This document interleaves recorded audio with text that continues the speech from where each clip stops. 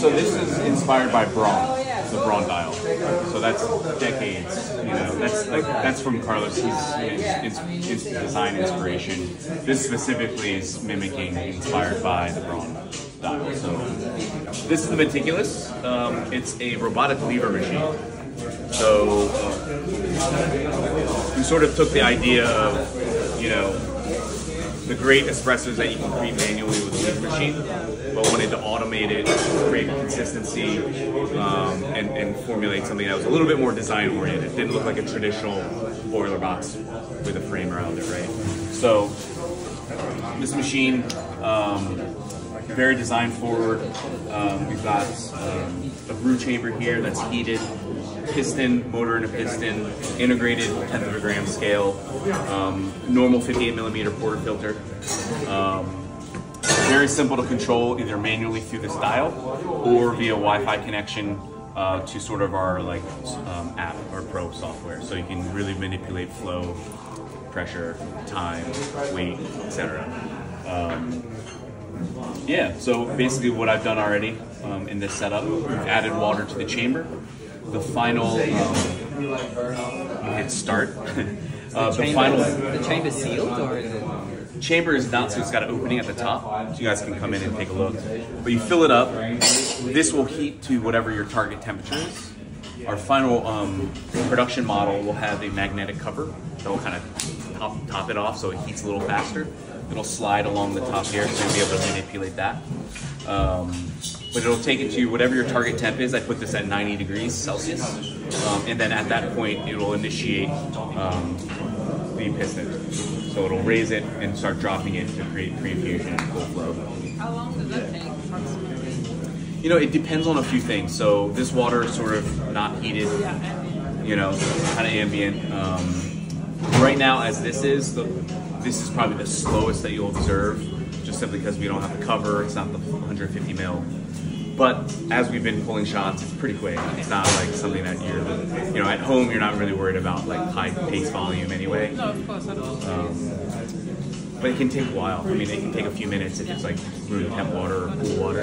Um, but we'll, we'll make some improvements to the chamber and the cover that it'll like. I think the prototype cover that we have right now, the baristas are like struggling. They, they're basically like prepping first, locking it in, and then heating because it's, it's moving pretty quickly.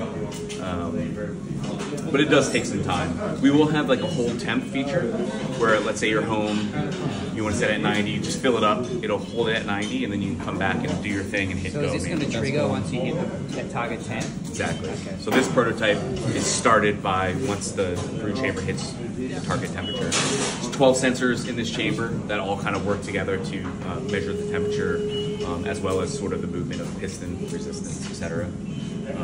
Will that cover um, the steam, the condensation from kind of building up? Yeah. that, yep. Gotcha. So as you can notice, we're developing some steam, very precarious around a button like this. So we thought about maybe moving that. So TBD there.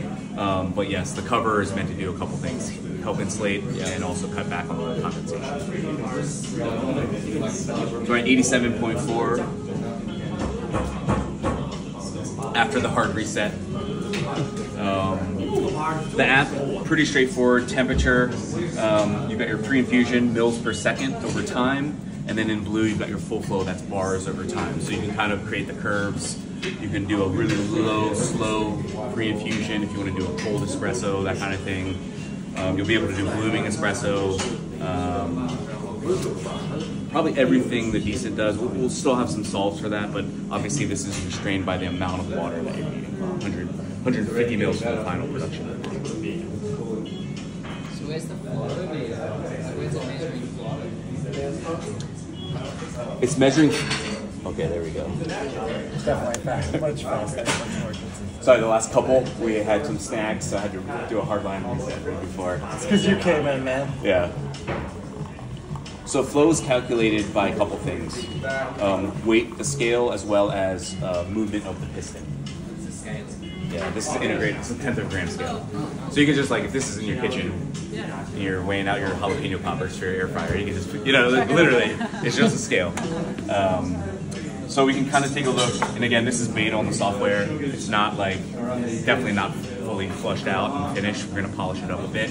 But you've got your uh, pressure curve, So we've got our uh, pre-infusion going into full flow. I set it at nine bars, so you can see that kind of plateau. Um, we've got the weight of the shot as it uh, fills the cup. Um, the flow here, it's a little bit tricky. This first initial big spike is like the piston initially contacting and pressing down. So it's sort of a very accurate image, but it's also not something that's useful because it's just the mechanics of that. But what we're really looking for is the four mils per second pre-infusion that I said there. And then the temperature you're always going to see at this current prototype when it's heating here or in the graph, you're going to see variation in that number because of the, the 12 sensors here, depending on where it is in the chamber, as well as like, you know, as it gets to the top temp, starts to move and bubble at the top, that all impacts the sensor temp. So it's averaging all of those. Um, so you'll see that a little bit on the D as well. Other kind of, it'll kind of like move a little bit. Um, so again, those are little UX kind of things that we're uh, kind of flush out a little bit on, on the app. But the really fun thing is, you know, this thing, you know, you're going to be able to share profiles. We're going to be able to literally, um, and this is something a little fun project I want to do is, um, let's say you took a trip to Paris recently, you had an amazing espresso at a cafe, Ca- cafe, Terrace Cafe. Um, we could actually contact them, get their water, send you their coffee, some Lotus, some Third Waves, the mineral, right? Their actual specs of their machine, and you can try to replicate their shots at home. And because of this um, manual pour, you're able to manipulate the water. So for a roaster, you're going to be able to take your blend, your single origin, run this through here, and maybe you have five different kettles of water that you formulated.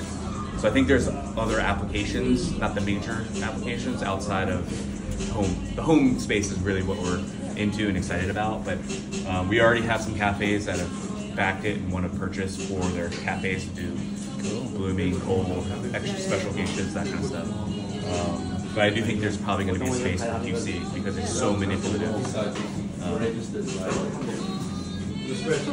This is the uh, Regalia blend.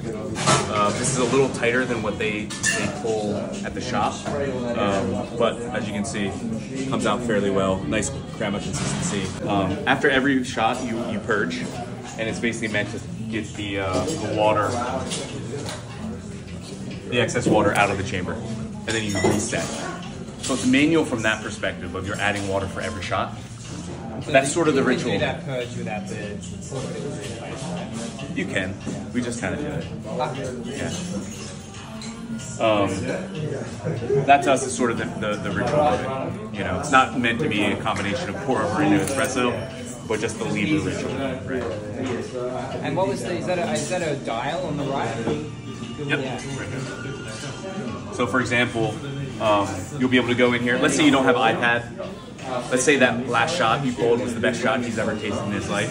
He saved it, right? Um, you'll be able to come in here, select your preset, do you know, prep your puck, add water, but you'll be able to just hit go in the morning. So this is sort of for your your user that still needs to be able to prep the puck, right? It's not fully super automatic by any means. But once you have this locked in, you don't need to you don't need to go full curvature. You just hit go. So that's really what that's meant to be. You can do everything from this dial. That's a button right there. This is a manual tare. That's a manual tare. Yeah. So this is like it's kind of faster than if you put your cup down and you immediately hit that. Yeah. It's a little bit more. But then this is um, you can remove this tray obviously. When that's all metal. Yeah. Nice. And then this is plastic. Cool. Dude, man. So since it's one way, you're not getting any. You're not back flushing ever. Yeah, right. Um, there isn't SOP yet for this, but you probably. This is for like travel and stuff, but Oh man, that's crazy. That's awesome. scale goes there, portafilter, machine. This is where the mini goes. logo. Oh, the logo. That's cool. That's why that thing is amazing because it fits in the corner of this. That's sweet. Um, I even we have a uh, this is for a hydro flask in case I needed to like transport water. but luckily, everywhere I've done it at all cafes. So Did you do these cutouts? I didn't do them. I was just gonna say, I was like, wow, you really are The, precise. the team did though.